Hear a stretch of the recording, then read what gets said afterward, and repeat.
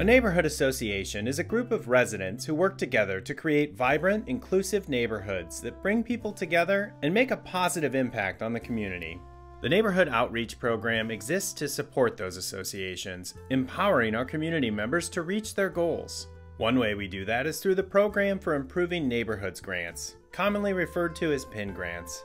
These funds can be used for community events, public art projects, landscaping improvements, or other neighborhood enhancements.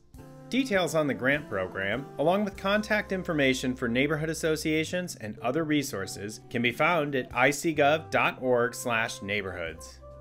Because getting involved with your neighborhood is a terrific way to get to know your neighbors and make a positive impact.